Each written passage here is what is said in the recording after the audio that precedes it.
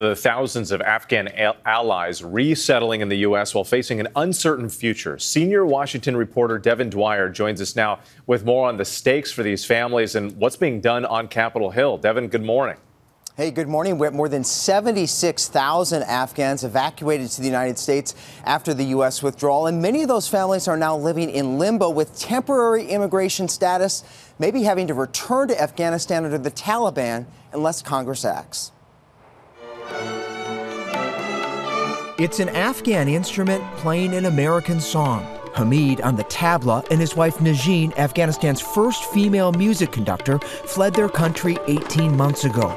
Now they're urging Congress to let them stay here. While her family was recently approved for asylum, most Afghan evacuees have legal status that is temporary, expiring later this summer.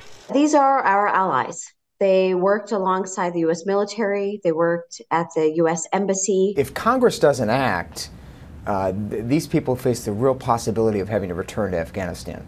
That's right. Abdul, a former interpreter for U.S. Marines, and his wife Lima and their three daughters, ages 14, 11, and 7, consider themselves some of the lucky ones. After a harrowing journey out of Kabul, helped in part by ABC News, they were approved for special immigrant visas. Do you think you ever could go back? We couldn't go there because I have three daughters. We don't want gift cards, we don't want foods. Just send to the Congress letters about Afghan Adjustment Act that we needed. The Afghan Adjustment Act would provide a path to green card status for Afghan evacuees and their families, require additional U.S. vetting, including in person interviews, and expand efforts to help Afghan allies left behind in that chaotic withdrawal. But Republican critics of the plan say the sticking point is security. The fact that you are not conducting the most standard interviews for tens of thousands of people brought to this country is astounding to me. The Department of Homeland Security Inspector General last year found many evacuees were not fully vetted.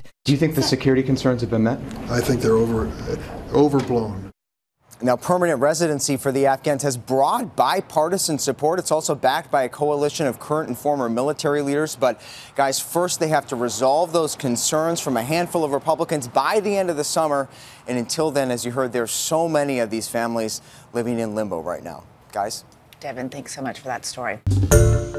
Hi, everyone. George Stephanopoulos here. Thanks for checking out the ABC News YouTube channel. If you'd like to get more videos, show highlights, and watch live event coverage, click on the right over here to subscribe to our channel. And don't forget to download the ABC News app for breaking news alerts. Thanks for watching.